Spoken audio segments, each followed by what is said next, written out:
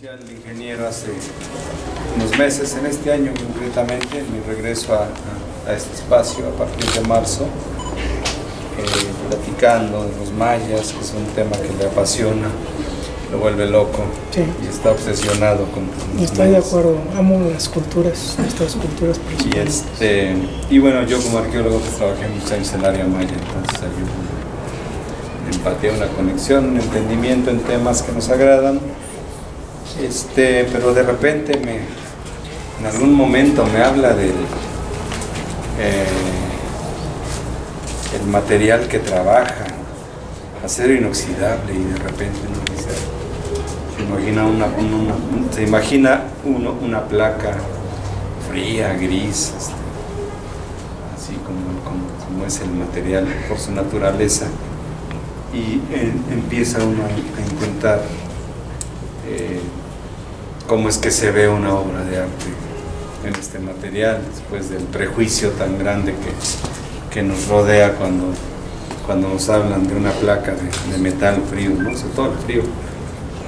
Y bueno, pues hubo la oportunidad de conocer su espacio, un maravilloso espacio lleno de energía, muy cargado de energía y de tantas y tantas, tantas cosas que no es la excepción el ingeniero con- en su calidad de artista, un loco, ¿no? Que tiene por todos lados este, empezado, medio a terminar, terminado y, que le falta y que ya no le gustó. Así son los talleres de los, de los, artistas. Son un mundo de, de cosas y de imaginación que de repente uno ve algo que no le entiende, pero pues nada más es entrar en la mente de ellos y ya eh, explican y ya este, se ve hacia dónde va, ¿no? Se ven sus, sus intenciones. Y bueno, pues ha sido una maravilla. No nos quiso prestar, eso sí se lo vamos a reclamar, el Popol Vuh, ahora para que tuvimos Festival de Niños. en- Para la próxima, para la próxima. en, en, novie- en- en julio hacemos este, cursos de verano para niños y la ilusión también era muy, muy, muy rápido eh, poner el, el traer el Popol Vuh y hacer una edición muy económica del Popol Vuh y a los niños explicarles qué es el Popol Vuh. No tanto los que, eh, eh, no hay que casar a los niños con las culturas y decir de ahí vienes, no, ya pasaron 500 años.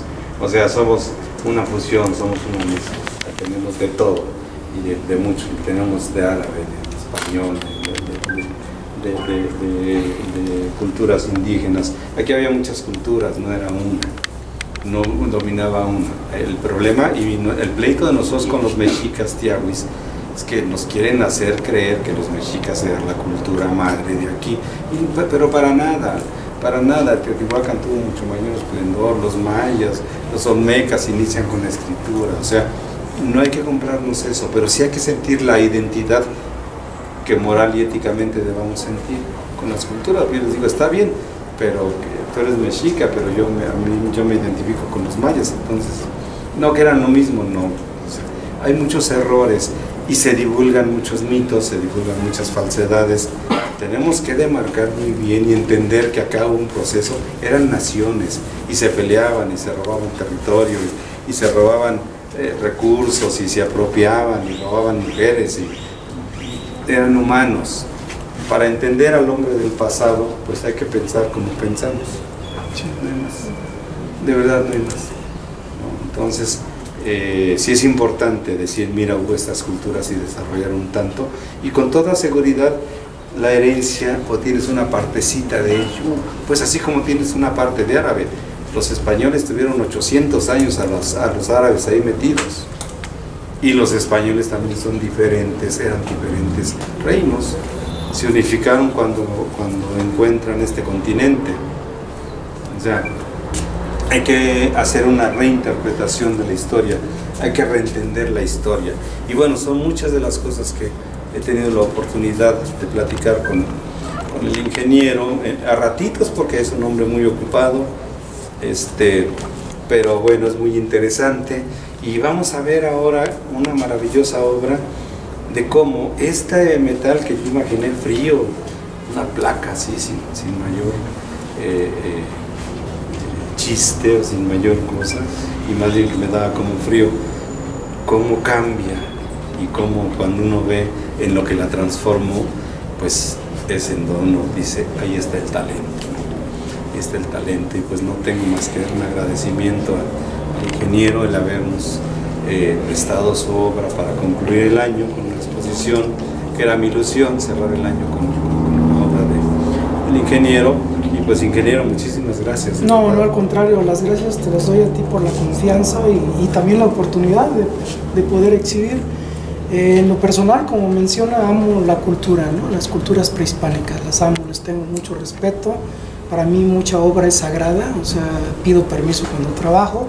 Y en realidad lo que, mucha parte de lo que van a ver allá adentro es una copia mía de, de verdaderos artistas, de artistas extraordinarios, ¿no? Eh, traté de hacer lo mejor posible pues, para honrarlos pero este, siempre voy a decir que estoy copiando artistas increíbles, ¿no? fabulosos y la intención de, de, las, de las obras, de, la exposición, pues es llevar nuestra cultura este, a, la gente, ¿no? es, es compartir. Este trabajo que van a ver aquí hay obras de hace muchos años, de hace 40 años quizá, o sea, es eh, toda una etapa. En lo personal, pues eh, he tenido la fortuna de, de, que no las he vendido, ¿no? o sea, como creador este, las tengo ahí y este, no sé, en un futuro a lo mejor eh, en lo personal no pienso venderlas, pero pues este, ya el tiempo lo dirá.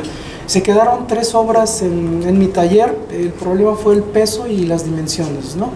Una de ellas es un jaguar maya, que está en la plataforma de los jaguares, que pesa como un promedio de unos 250 kilos y tiene como casi dos metros y medio, entonces era complicado el colocarlo y moverlo. Otro mural, eh, le llamo mural azteca, con, con, la venia de Don Vicente, que es mural mexica, mexica este, que también ese pues anda por los 300 kilos. ¿no? Y la obra de que él hablaba del Popol Vuh es un proyecto que empecé en, el 2010, eh, del 2010 para acá vengo trabajando en ella. Ya le, la titulé El árbol de la vida del Popol Vuh al, ponerle el título de árbol, a lo cometí un error porque un árbol crece. Y esa obra empezó con un cuadro. Eh, cuando terminé el cuadro le dije, me gustó mucho ese cuadro y le dije, te voy a hacer un marco digno de ti. Y, este, me tomaron la palabra. Esa, esa obra ahorita pesa ya más de una tonelada, mide como dos metros cuadrados, es un cubo de dos por dos por dos, quizá un poco más. Y, pues sí vamos a tener la oportunidad de exhibirla en su momento, nomás es la logística de cómo la movemos, ¿no? Porque es, es complicado, por eso no la traje, ¿eh? no crean que por... O sea, lo que uno como creador desea es eh, compartir lo que hace, ¿no?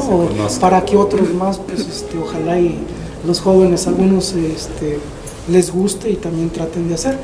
Eh, termino, ¿eh? Este, eh, mi intención es eh, en el metal tratar de, enseñar a jóvenes para que lo manejen, para que lo trabajen y, este, también hagan obras. ¿no? Es, tiene, no es nada imposible, este, pero este, este, como todo tiene un, ya saben, todo tiene un pequeño este, proceso de, aprendizaje y lo hacemos. Les agradezco mucho su, su presencia y este, pues no me queda más que compartirles la, la obra, este, espero les guste. Muchas gracias.